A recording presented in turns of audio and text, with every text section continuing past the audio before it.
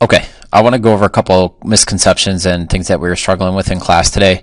So I want to take a look at page 449, number 28, or number 29, the question dealing with deer ticks.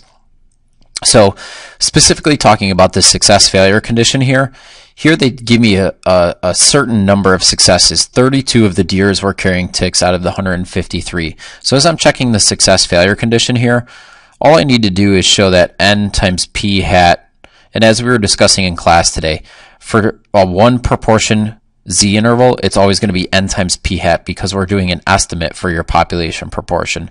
So here, I can just write that this is equal to 32. They've told me 32 of the deer have ticks.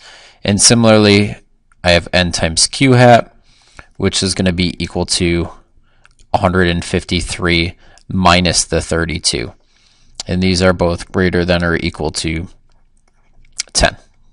So that checks. Now, if we have a question like I did in the previous video where they don't give me the, the number of successes, that's a point where I'm going to need to calculate it.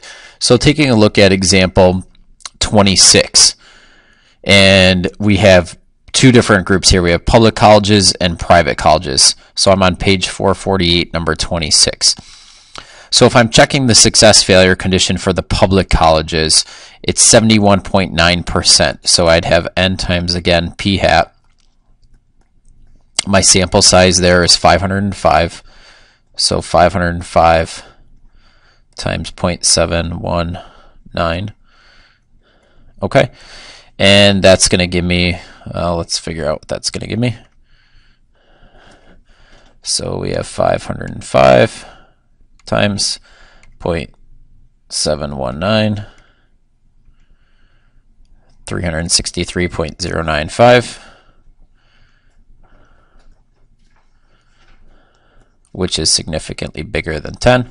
And I'm going to come back over here and I'm going to check n times q hat, which is going to be 505 times the complement, which is 1 minus the 0.719, which is 0.281 do that calculation.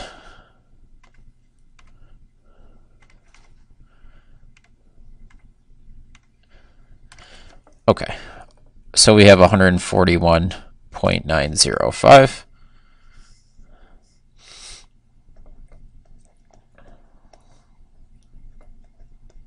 Okay. So those are the two different ways you're going to check your success failure condition based on if they give you the number of successes and failures or they give you a percentage.